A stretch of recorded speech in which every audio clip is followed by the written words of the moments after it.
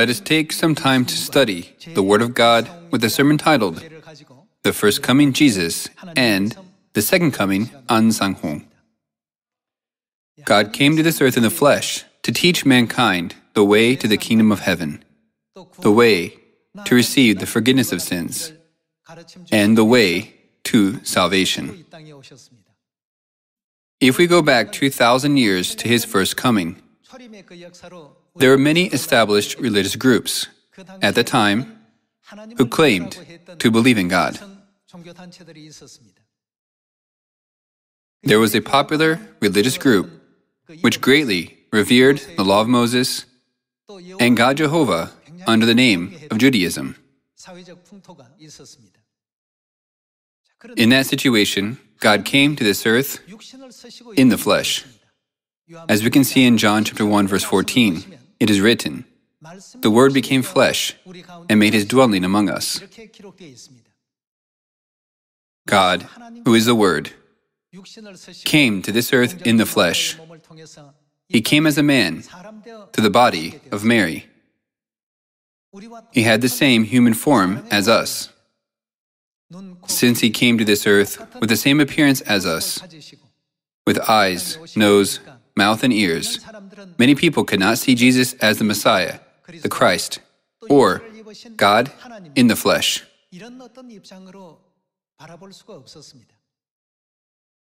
As a result, they sometimes treated Jesus disrespectfully, sometimes tried to stone him, and failed to properly understand the grace of his coming to this earth to give us salvation. We can find through many records the historical situation of that time when they rejected Jesus, the Messiah, and did not believe in him. However, among them were the early church saints who correctly received Jesus as the Messiah and Savior. To these people, God promised to grant the crown of life that would never disappear in the kingdom of heaven. It is the same in this age. There is a reason why God came to this earth in the flesh at both his first and second coming. We must clearly understand this reason in order to correctly receive the Messiah who came to this earth in the flesh, right? If we do not, history will repeat itself in this age of his second coming, just like at the time of his first coming 2,000 years ago. Since they evaluated and judged God based on the knowledge of the privileged class, the first thought they had was, how can God become a man? This is why they picked up stones to stone him and labeled him as a Nazarene sect. Let us think about this for a moment. Will those who crucified Jesus be saved? Absolutely not. Why can't they be saved? There's only one reason. They did not recognize God properly. They treated God, who was trying to show them kindness, with malice. God came to this earth to give sinners who had already sinned in heaven and had been cast down to this earth another chance to receive the forgiveness of sins. However, they rejected and refused Him again on this earth, so their chance was taken away.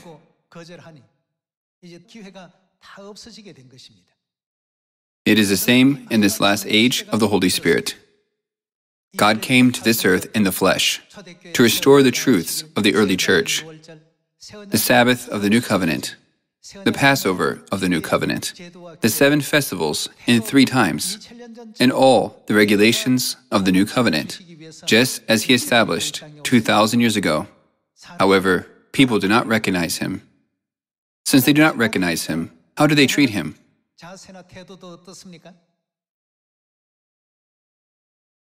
It is the same as it was 2,000 years ago.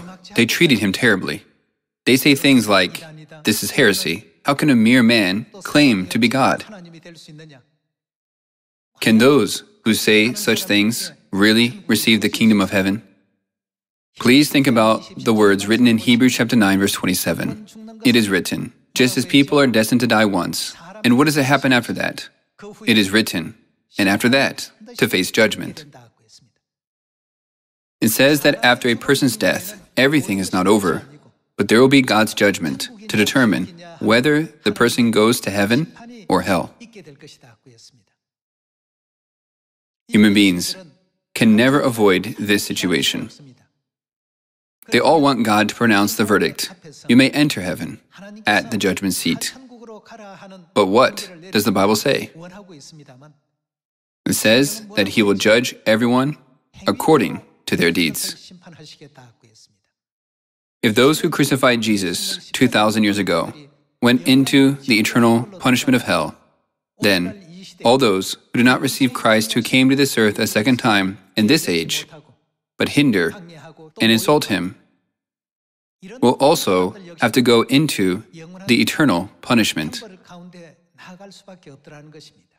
That is why you and I teach and preach about Christ Ahnsahnghong, who came in the name of Jesus at the first coming and came to this earth in the new name of Jesus at the second coming, isn't it? Let's turn to the teaching of John chapter 1, verse 1.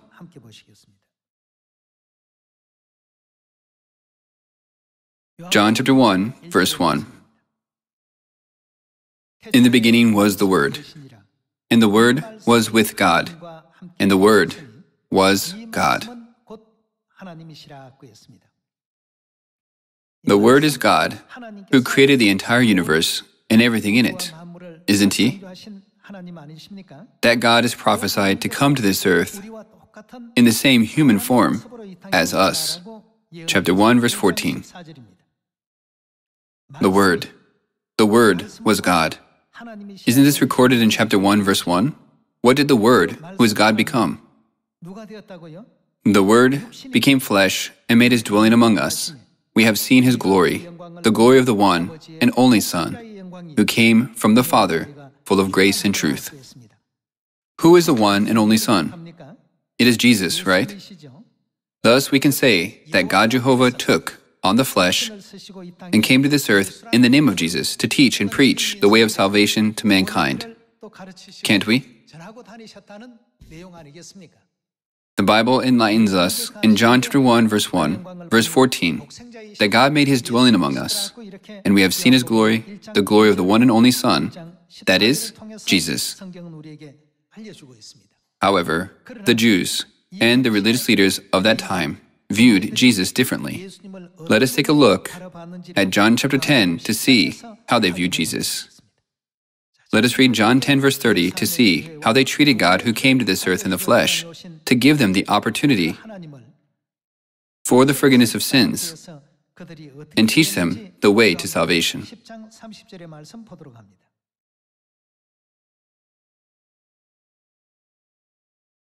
I and the Father are one. Again, his Jewish opponents picked up stones to stone him. But Jesus said to them, I've shown you many good works from the Father. For which of these do you stone me? We are not stoning you for any good work, they replied. But for what are they stoning him for? Blasphemy, because you, a mere man, claim to be God. Their answer as to why they picked up stones to stone Jesus was this How can you, a mere man, claim to be God? However, what does John chapter 1 verse 1 and verse 14 say the Word who is God became? The Word became flesh and made his dwelling among us. Let us also look at the prophecy in Isaiah chapter 9. Let us take a look at the words of Isaiah chapter 9, verse 6. For to us a child is born, to us a son is given, and the government will be on his shoulders. And he will be called Wonderful Counselor, Mighty God, Everlasting Father, Prince of Peace. Of the greatness of his government and peace, there will be no end. He will reign on David's throne and over his kingdom establishing and upholding it with justice and righteousness from that time on and forever. The zeal of the Lord Almighty will accomplish this. Who is being described here in this prophecy as a child, as a son? He refers to Jesus. Hence, when Jesus Christ comes to this earth in the flesh, what would he be called? He would be called Wonderful Counselor, and what else? Although he came to this earth in the form of a child, as a son, the Bible let us know that his true nature and his true essence is mighty God and everlasting Father. However, since he came to this earth in the flesh, just like an ordinary family, through a mother named Mary, a father named Joseph, and many siblings, did people believe that he is God? From a human perspective, it would have been impossible to recognize him as God.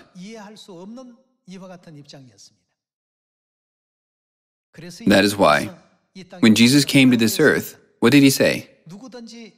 He said, Blessed is anyone who does not stumble on account of me. We must be able to recognize God correctly. Since they didn't recognize him, Judas Iscariot betrayed and sold Jesus. And the people said, Release Barabbas, the robber, but crucify Jesus. Those who truly recognize him would never have done such a thing. The same is true in this age. Let us open to Hebrews chapter 9. Let us take a look at Hebrews chapter 9, verse 27. Just as people are destined to die once, and after that to face judgment. So Christ was sacrificed once to take away the sins of many, and he will appear. How many times will he appear? A second time, not to bear sin, but to bring salvation to those who are waiting for him. Jesus coming again to give us salvation is called the second coming. He said he would come a second time to this earth. Then, the circumstances of his first coming and his second coming must be different. This is because we all know that the way the Jewish people received the Messiah at the first coming was incorrect, isn't it? Then, what should we do at his second coming? We must not follow the same path they took. What must we do? When he comes, we must recognize him and receive him. And all of us must become those who follow his teachings of salvation, right? Unfortunately, among the 8 billion people on this earth, not many recognize him. Since there are not many, what is this path of truth called? It is called the narrow path, or it can be expressed as the narrow door. Does the Bible say many people enter through it? No, not many enter through it.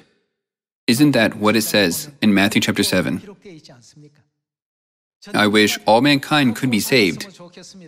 But the Bible says that not all mankind are allowed to know this way.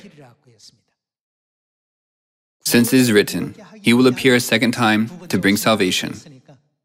Only when He comes a second time will the way of salvation be opened. And if He does not come, we humans will never be able to understand the way to salvation and will remain in darkness. Until he comes to this earth a second time, no human being will be able to discern what is truth and what is falsehood. During the Dark Ages in medieval times, the Sabbath was abolished in 8321. In 8325, Passover was abolished. Furthermore, in 8354, Christmas, which is not in the Bible, was established as a tradition within the church as if it were a biblical teaching. Also, the cross was erected on top of the church. The truth of Christ disappeared one by one, starting with the Sabbath and then the Passover, while things that never existed before continued to appear. These types of churches we see now were formed as a result of the Dark Ages. Since churches are no longer filled with the teachings of Christ, but instead they are filled with pagan religious rituals and customs, this is the clear reason why Christ must come to this earth a second time. Then, in order to receive him, we must know where he will come from, what truth he will bring, and what sign he will come, right? At his first coming, the people did not recognize him. Every time he preached, they argued against his words, interfered with them, and formed opposition against them. In this way, the Jews, the Israelites, ended up accusing Jesus Christ, putting him on trial, and bringing forth a miserable result of crucifying him, who was without sin. Today, this gospel does not remain only within Jewish society. It is being preached all over the world, to Samaria and to the ends of the earth.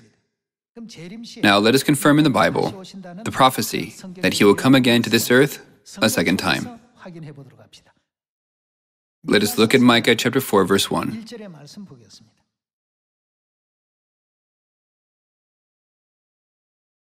In the last days, the mountain of the Lord's temple will be established as the highest of the mountains. It will be exalted above the hills, and peoples will stream to it. When it says in the last days, it refers to the entire generation at the very end of the gospel age. In the last days, the mountain of the Lord's temple will be established as the highest of the mountains. It will be exalted above the hills, and peoples will stream to it. Many nations will come and say, Come, let us go up to the mountain of the Lord, to the temple of the God of Jacob. He will. What will he do?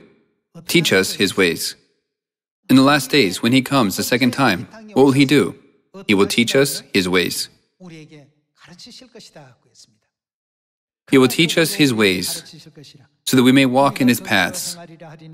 The law will go out from. Where will the law go out from?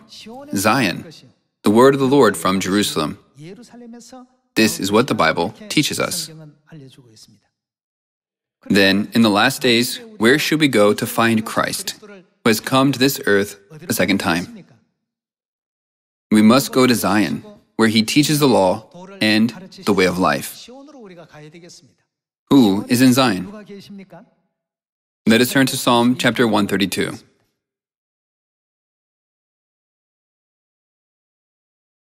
Psalm chapter 132, verse 13. For the Lord has chosen. What has He chosen? Zion. He has desired it for His dwelling, saying, This is my resting place forever and ever. Here I will sit enthroned for I have desired it. I will bless her with abundant provisions. Her poor I will satisfy with food. I will clothe her priests with salvation. And her faithful people will ever sing for joy. What did God say He would do when He comes to Zion? He said He would clothe her priests with salvation. What did He choose Zion to be? The Bible teaches us that God chose Zion to be his dwelling place, that is, the house of God. Then, what kind of place does Zion spiritually refer to? Let us take a look at the book of Isaiah, chapter 33, verse 20. In Isaiah chapter 33, verse 20, it is written Look on Zion the city of our festivals. Then Zion must be the very place where God's festivals are celebrated. Zion is the place where God's festivals are kept, and the place where God's festivals exist. Some people may ask, God's festivals? What are the festivals of God? Let us find out what the festivals of God are. Let us turn to Leviticus chapter 23, verse 2. Speak to the Israelites and say to them, These are my appointed festivals, the appointed festivals of the Lord, which you are to proclaim as sacred assemblies. Verse 3 There are six days when you may work, but what is the seventh day? There are weekly festivals observed every week, and annual festivals observed once a year.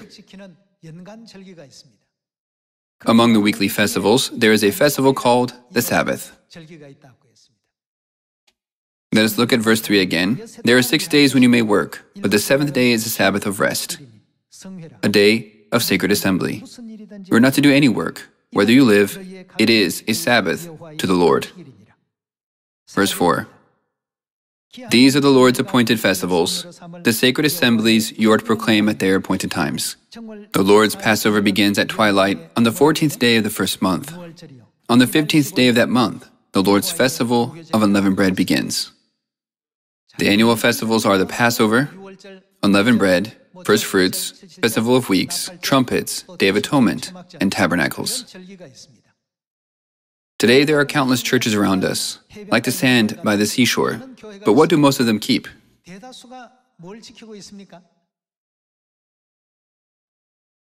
They keep Sunday worship. They don't keep the Sabbath day. Not keeping the Sabbath day means not keeping God's festivals. A place that does not keep God's festivals can never be considered Zion. Then, would God dwell in a place that is not Zion?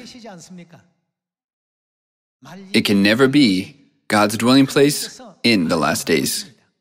God said that He would make Zion His resting place forever and ever. Then, by looking at the Sabbath alone, everyone, can you distinguish between a church where God dwells and a church where God does not dwell? Yes, you can. All the laws of truth were destroyed and abolished.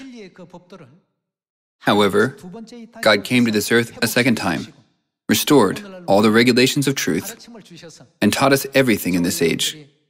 Isn't this why you and I can understand the Sabbath day, the Passover, the seven festivals of three times, and all the truth of the new covenant? Whom can we meet in such a city of festivals? We can meet God, who dwells in Zion. Where can we find God in the last days? We can find him in Zion. The Bible tells us that he proclaims the law of life of the new covenant and teaches mankind there. Then why do other churches in the world today not have the Sabbath and the Passover? Why are they unable to keep God's festivals? Daniel chapter 7 gives us the answer. Let us read Daniel chapter 7, verse 25 together.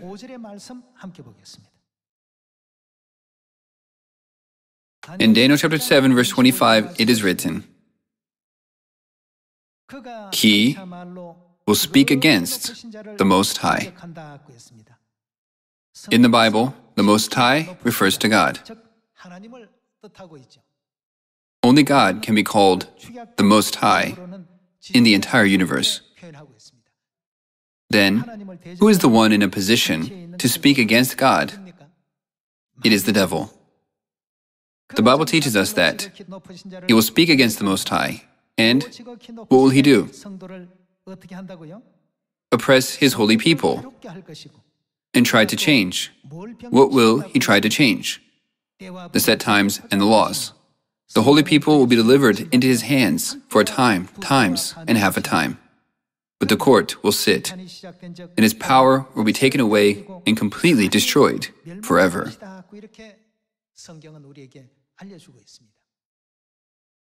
As Daniel chapter 7 prophesied, God's set times and the laws of the truth began to be changed and altered around the 4th century, and this process accelerated rapidly. Of course, there had been small signs of lawlessness even before that. However, this began in earnest in AD 321 when the Roman Empire, which worshipped the sun god, abolished the Sabbath day and instituted Sunday law. Also in 8325, in a place called Nicaea, the Passover was abolished. Then, in 8354, Christmas began to be introduced. And after that, the cross was introduced into the church and began to be erected. All these pagan practices entered the church one by one, and these practices formed the church as it is today. These churches are not the church that Jesus established. Even among the Ten Commandments, God commanded us to remember the Sabbath day by keeping it holy as the fourth commandment. But the Catholic Church replaced it with remember to keep holy the Lord's day. This was fulfilled exactly according to God's word of prophecy. As it is written, the source of all this change and distortion of God's set times and laws originated from the one who opposes God. God Himself came to this earth to teach mankind His festivals. On the other hand, Satan spread false knowledge and information to mankind in order to make it seem as if God's festivals were nothing and to misrepresent all of God's teachings, as we can see through the prophecy of Daniel.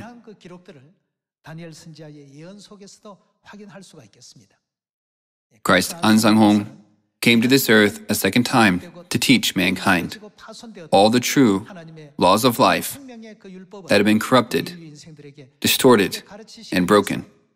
He taught us the true Passover of life, the Sabbath of life, the festivals of life, and the new covenant of life. He bestowed upon us all these things and went up to heaven. Hasn't all this happened according to the prophecy? With the correct understanding, we must become those who receive Christ.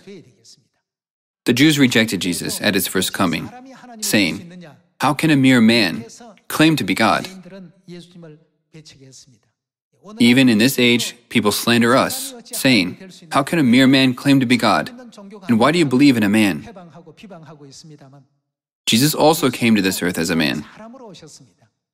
A religion that does not receive Christ, God who comes to this earth as a man, is definitely not Christianity. Let us confirm how the Bible and the prophets have explained about this matter by turning to 2 John. 2 John chapter 1 verse 7.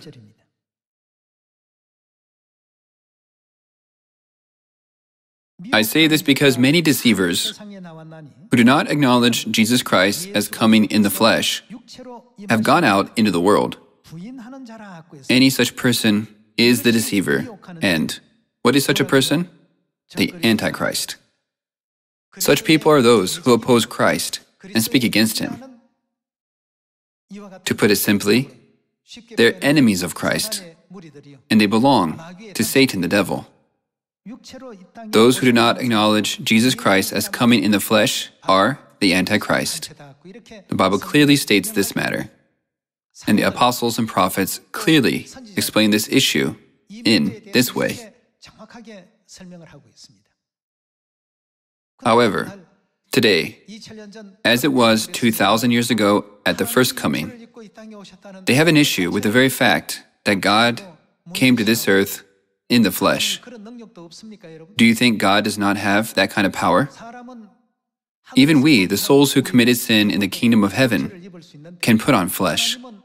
But God cannot put on the tent of flesh that He created? Does that make sense? God, who is almighty and omnipotent, can put on flesh, or He can be in the Spirit. God has power to do whatever He desires. What does the Bible tell us about the ones who say, God must never come in the flesh? Such people are the deceiver and the Antichrist, that is, the false Christ, and those who oppose God. Today, we can see that there are so many similarities between the situation of the first coming Jesus and the second coming Ahnsahnghong. In order for us to receive Christ in this age, we must dwell in Zion, where the festivals are kept. What did God say He would do with His law in the last days in Zion? He would appear a second time on this earth to teach His law to all mankind in order to lead them to the way of salvation. Believing in the prophecies of the Bible and the prophets, let us be those who can absolutely believe the Word of God and receive Christ. No matter what slander and hindrance the world may throw at us. Even 2,000 years ago, they greatly insulted Jesus, calling him the Nazarene sect.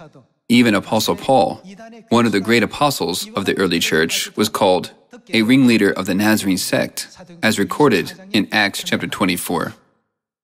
Why was that? It was because he believed in God, who came to this earth as a man. Their wrong claim, how can God come as a man, led them to have the wrong idea, and that idea led them to eternal hell. The way of truth, the way of righteousness, is always in the Bible. Let us look to the Bible and follow the teachings of God's Word correctly to the end, so that you and I may become the ones who can hold fast to this faith until the end, just like the saints of the early church. Do not lose the crown of life and receive a rich welcome into the eternal kingdom of heaven. Thank you very much.